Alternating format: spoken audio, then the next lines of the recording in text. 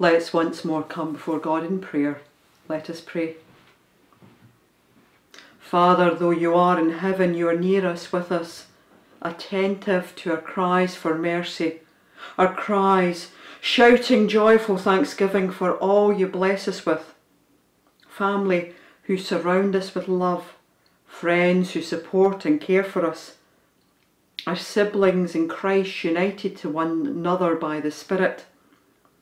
Recall, recall how, when they are in pain, ill, we join with their suffering, calling to you, Lord, the one you love is sick.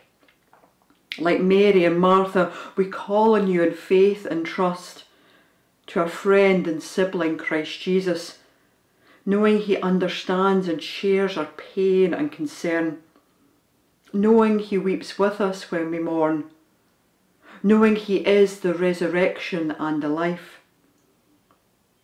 Resurrected One, your body was raised from death to life, removing the power of death once and for all.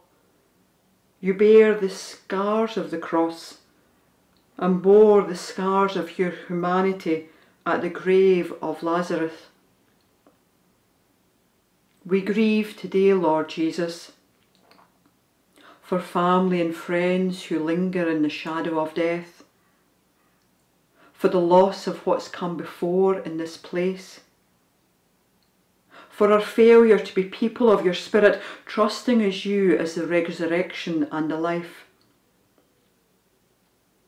And Jesus, we know you weep when we weep. We know you answer our prayers. But we also wonder why, not always as we'd want, especially as we watch, as we lose something or someone dear to us.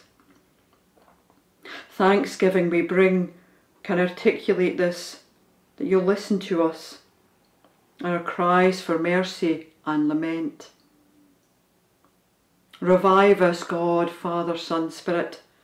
In your great mercy, revive us.